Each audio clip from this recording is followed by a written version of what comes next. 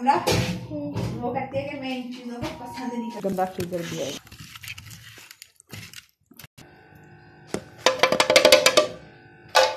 Half teaspoon लाल मिर्च one tea spoon नमक हंसपे ज़रूरत अदरक लहसुन हाफ़ टी स्पून हल्दी हाफ़ टी स्पून हमने चिकन को इन सब के साथ मैरिनेट कर दिया है।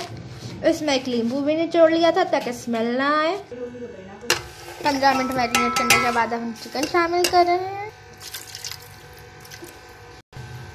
अब दो मिनट इसका पानी खुश करेंगे फिर इसमें बाकी मसाले शामिल। अच्छे से पक रहा है। आप देख सकते हैं। और यह सिर्फ़ अभी सिंपल पानी में पक रहा है। डूँगी ऑयल डाली है हमने इसमें चम्मच के बराबर है। अब हम इस हम इसको भुनाए भूनेंगे।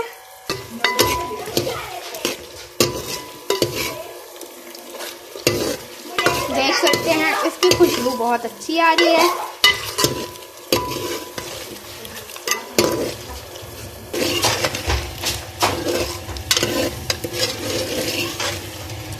मैं टमाटर, प्याज का पेस्ट डालने लगे हैं हमने स्टार्ट में बनाया था। और ये पानी है, इसको पाँच दस मिनट पकाएँगे, फिर हमारा सालन तैयार। हमारा चिकन बस तैयार होने वाला है। इसमें हमने धनिया डाला है, गार्निशिंग के लिए। अब बस कुछ ही देर में हमारा सॉल्टी लेमन चिकन तैयार हो जाएगा।